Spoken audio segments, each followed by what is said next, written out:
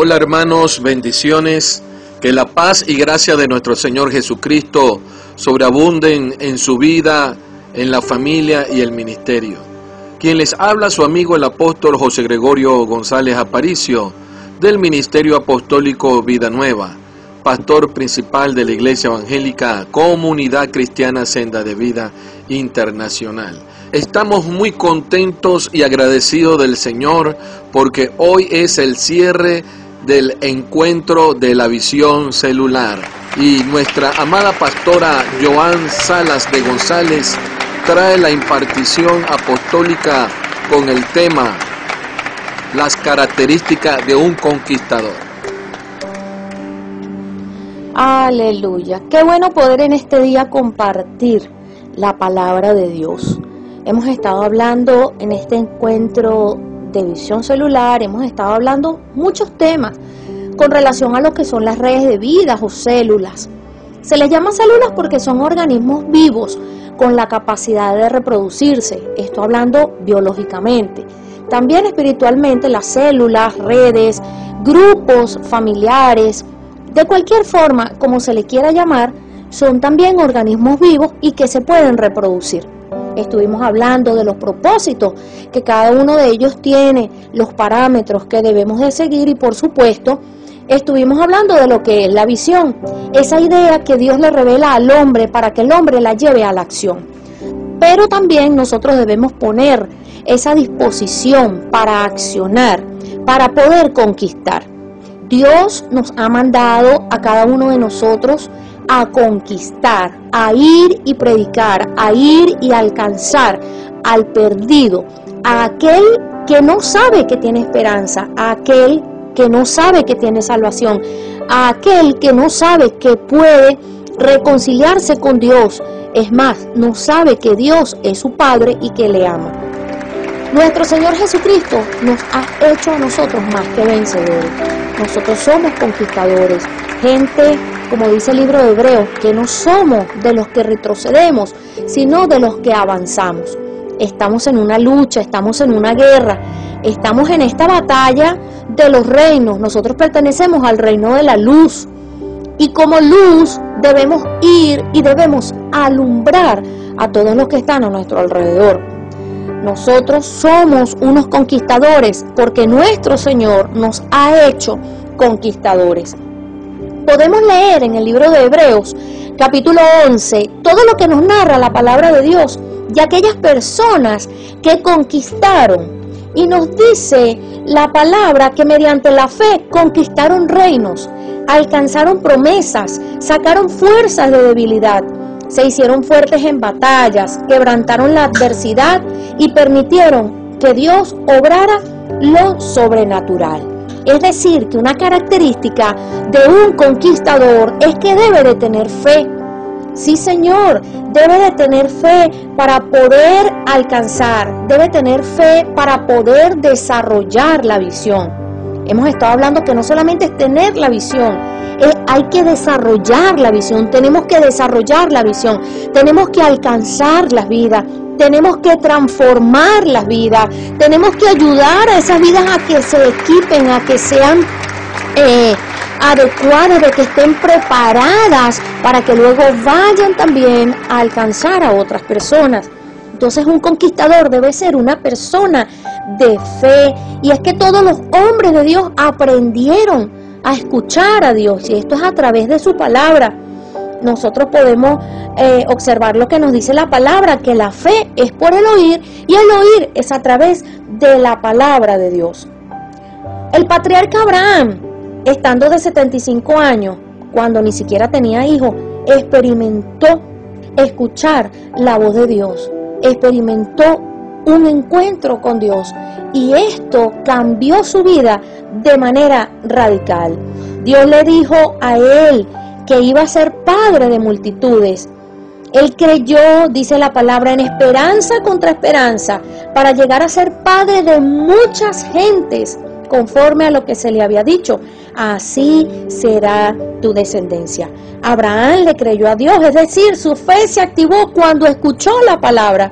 Y de esta manera su vida fue marcada para llegar a convertirse en el padre de la fe. Cuando nosotros estudiamos perseverantemente la palabra de Dios, viene la voz de Dios al corazón, a nuestro corazón.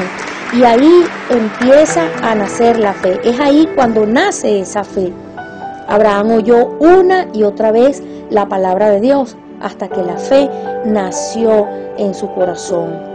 Nosotros como líderes también debemos permitir que nuestra mente y corazón sean un depósito permanente de la palabra de Dios para que la fe esté activada en todo tiempo en nuestras vidas.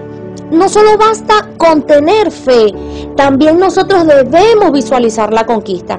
Para conquistar necesitamos la fe, pero también nosotros debemos visualizar esa conquista. Y una vez que la palabra fue implantada en el corazón de Abraham, Dios le guió a poner una imagen clara de lo que él quería hacer por medio de su vida.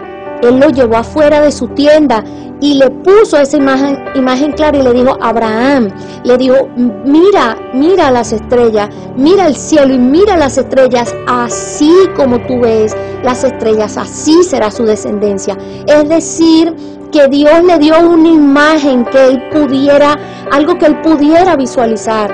Nosotros somos bienaventurados cuando no viendo creemos, pero a través de la fe, así como Abraham, podemos visualizar la conquista.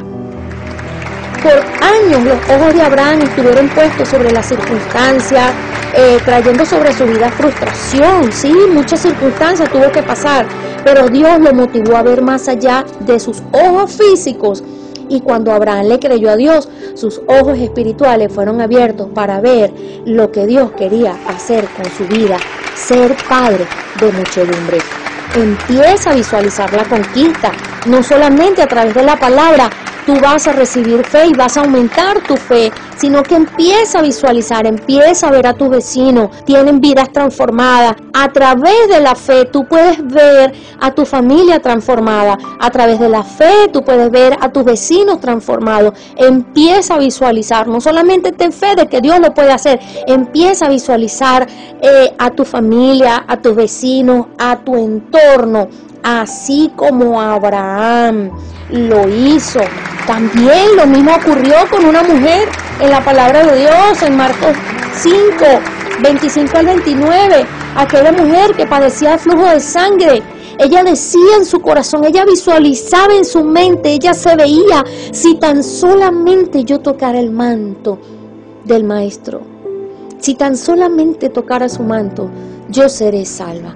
Esa mujer no tenía ningún tipo de opción, no tenía ningún tipo de esperanza, ella solamente lo que buscaba era ya salvarse para poder pues morir, una mujer desahuciada por la ciencia médica.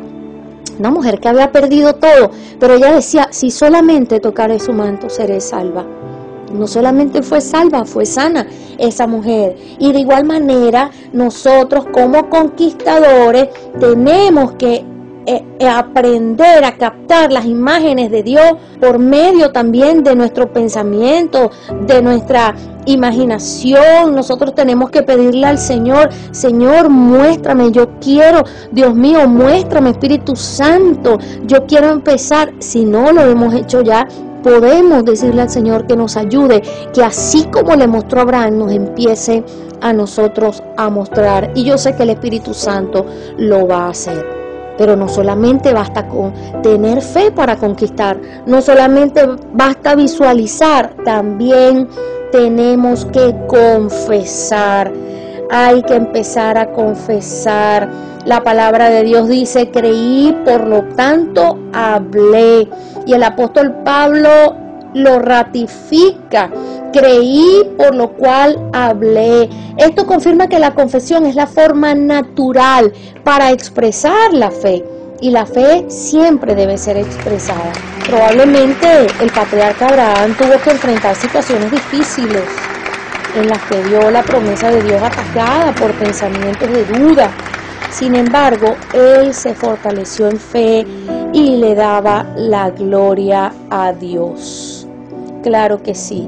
Usted también empieza a declarar con su boca, usted también empieza a confesar con su boca a través de tu oración, a través eh, de tus tiempos de intimidad con el Señor puedes empezar a confesar esa palabra, así como aquella mujer, si tan solamente tocare su manto, empieza a abrir tu boca y empieza a confesar la palabra. Y después que confieses la palabra, entonces también ahora hora de actuar. Hay que actuar con osadía. Quiero que mis vecinos sean salvos, quiero alcanzar a mis vecinos. Tengo, sí, tengo que tener fe, tengo que empezar a visualizar a mi vecino salvo, tengo que empezar a declararlo, pero ¿cómo va a escuchar si no vas tú y le predicas?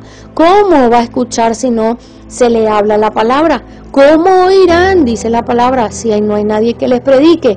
Entonces tú eres la persona que Dios ha llamado, tú eres la persona que Dios tiene allí en tu comunidad, que eres luz en tu comunidad para llevar esa palabra que libera, que restaura, que levanta, que transforma. Tienes la vida, tienes a Cristo mismo dentro de ti, que es la vida, tienes la palabra de Dios, el logo de Dios habitando en tu vida, tienes la expresión máxima de la creación, tienes al Hijo de Dios habitando en tu vida, así que allí tú puedes conquistar las personas que están a tu alrededor. Aleluya, qué bueno que en este día pueda compartir esta palabra. Gloria a Dios. Recuerda, mi amado hermano, que estamos viviendo un tiempo extraordinario donde hay mucha receptividad a la palabra de Dios. Aprovecha este tiempo, aprovecha las situaciones, así como Jesús, cada momento que se, se presentaba era un momento que él no lo desaprovechaba. Pídele al Espíritu Santo que te muestre las situaciones, que te dé esa, eh, esa osadía para entablar conversación con las personas y aprovechar ese momento para que la palabra pueda fluir a través de ti. Yo sé que tú eres un instrumento de Dios, eres un instrumento de bendición, eres un instrumento útil en las manos de Dios. Yo lo sé, así que vamos a conquistar porque ya somos unos conquistadores y vamos a ganar a toda esta ciudad, a este estado, a Venezuela y hasta donde Dios nos lleve. Bendiciones, espero que esta palabra te edifique cada vez que la escuche, pueda ser edificado a través de ella. Bendiciones. Nuestra gran comisión, predicar el Evangelio de Cristo a toda criatura, impactando a las naciones con el mensaje de salvación. Somos